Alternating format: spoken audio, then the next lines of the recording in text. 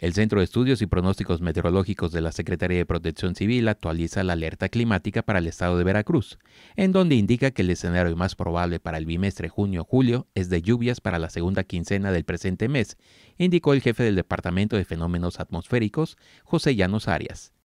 Los eh, modelos eh, climáticos son muy persistentes en indicarnos que conforme vaya avanzando esta semana, las lluvias se van a ir generalizando primeramente de la porción sur hacia la porción centro de nuestra entidad. Probablemente de este fin de semana en adelante ya también estas lluvias se estén extendiendo hacia la porción norte de nuestro estado. Hay que estar muy atentos porque estas lluvias podrían ser pues de tipo eh, fuerte o localmente fuerte, acompañadas por actividad eléctrica, ráfagas de viento, incluso no se podría descartar la caída de granizo.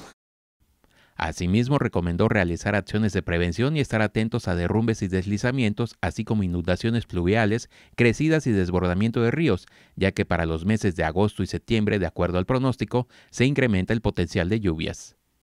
Muy importante tomarlo en cuenta, sobre todo el mes, o sea, la segunda quincena de agosto y durante el mes de septiembre, que es el periodo en el cual pues entramos a la, a la época de más lluvias en el estado de Veracruz. Así que si el pronóstico sigue siendo persistente en el sentido que tengamos más lluvia de lo normal o lo del promedio, eh, debemos estar muy atentos en, las siguientes semanas, en los siguientes meses, ante esta posibilidad de que en algún momento tengamos lluvias localmente eh, fuertes a muy fuertes en el estado de Veracruz.